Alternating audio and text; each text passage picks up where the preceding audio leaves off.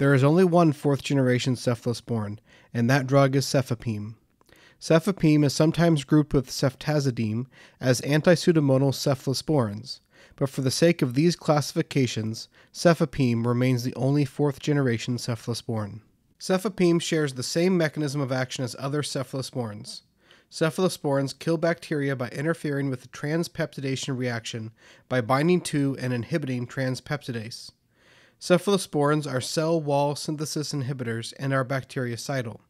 For more details on this mechanism, please refer to the video that focuses on cephalosporins as a whole. Beta lactamase degradation remains a concern with cefepime.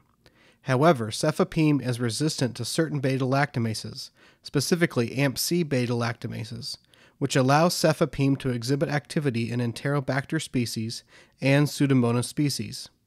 Energy dependent efflux can still confer cefepime resistance in Pseudomonas species. Cefepime shares mechanisms of resistance that other cephalosporins possess.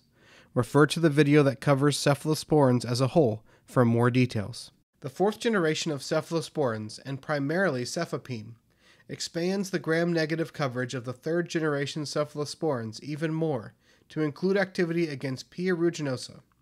Furthermore, cefepime provides excellent coverage of Enterobacter species.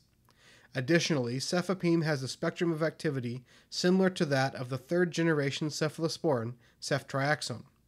This includes coverage for most gram negative and gram positive bacteria, resistance to narrow spectrum beta lactamases, and poor activity against B. fragilis. The adverse effects of cefepime are similar to the adverse effects described in the cephalosporin overview video.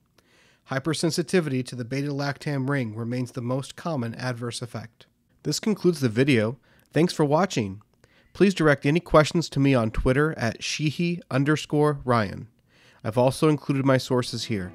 Thanks again.